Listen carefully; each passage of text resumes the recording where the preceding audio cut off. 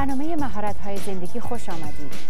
در برنامه قبل که مصادف با عید نوروز بود کمی در مورد لحظه حال صحبت کردم و اشاره کردم که در واقع فقط ما در لحظه حال هست که زندگی می‌کنیم. شما اگر خوب توجه کنین متوجه میشین که هر چی تو گذشته پیش اومده زمان حال رو سپری کرده. یعنی اگر بخوایم به زبون ساده تر بگیم هر لحظه ای که میگذره می‌تونه حقیقتی رو ثبت کنه که ما از اون در زمان حال به عنوان گذشته یاد می‌کنیم. و حتی از جهت دیگه زمان حال از نوعی به نوع دیگه تغییر شکل پیدا می‌کنه. در واقع نمیگذره. یعنی گذشته و آینده همین در زمان حال اتفاق میفته امروز وارد فلسفه میشیم.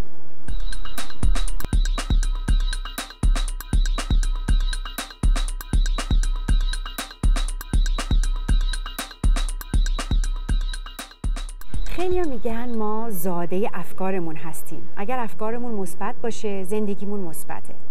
اگر افکارمون منفی باشه زندگیمونم منفیه. و درسته. ولی من می‌خوام بگم که ما افکارمون نیستیم. ما اون آگاهی هستیم که از افکارمون آگاهه. ما با افکارمون یکی نیستیم. افکارمون چیزی گذراست. که دائم در حال رفت آمده مثل موج. و اگر دقت نکنیم تکراری هم میشه. همچنین بنده احساساتمون هم نیستیم. ما در واقع آگاهی هستیم که از احساسمون هم آگاه هستش. ما افکار و احساساتمون رو تجربه می‌کنیم و همیشه شاهدشون هستیم. اما نکته ظریفش اینه که بدونیم ما باهاشون یکی نیستیم. شادی اصلی از روحه یا بگیم از آگاهیه و از بین نمیره. شادی نفس با پیشامدهای زندگی میاد و میره. تبدیل میشه به قصه و دوباره تبدیل میشه به خنده. لحظه حال همیشه ناب تازه است پاکه و همچنین ابدیه.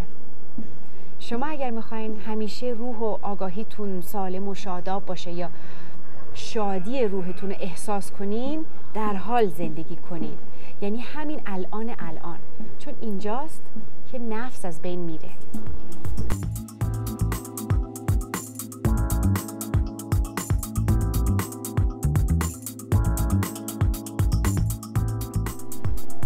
حال حاضر خود ابدیته. نه بار گذشته رو می‌شناسه نه دلواپسی آینده رو. چون می‌دونه که هر دو خیالاته. موقعی که در لحظه حاضر هستیم خودمون رو گم می‌کنیم. زمان به نظر طولانی میاد و روحمون در آسایشه. کیفیت کارهامونم بالاست.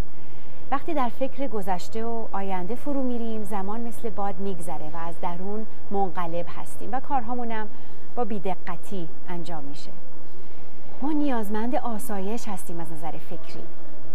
واسه همین خودمون رو با تلویزیون و کامپیوتر سرگرم می‌کنیم. میریم دنبال داروهای آرام بخش، الکل و یا مواد مخدر. همه این چیزا افکار رو آروم می‌کنه اما تنها برای مدت کوتاه و با ضرر زیاد. برای اینکه میفتیم زیر سطح فکری. ما باید بالاتر از سطح افکارمون باشیم. یعنی روی اون مسلط باشیم آگاه باشیم. و این تنها وقتی پیش میاد که هر کاری رو که می‌کنیم اون کار رو تو اون لحظه انجام بدیم بدون فکر آینده و گذشته. موقعی که داریم تمیز می‌کنیم یا لباس تا می‌کنیم فقط لباس تا کنیم و کارهامون رو با عشق و دقت انجام بدیم. وقتی با دوستامون هستیم و خانوادهمون با خودشون باشیم و نه تو فیسبوک. و اشتباهات گذشته هم نیاریم جلو چشممون. تا هفته دیگه که هنوز وجود نداره یا شاید هم داره لحظه خوبی داشته باشیم.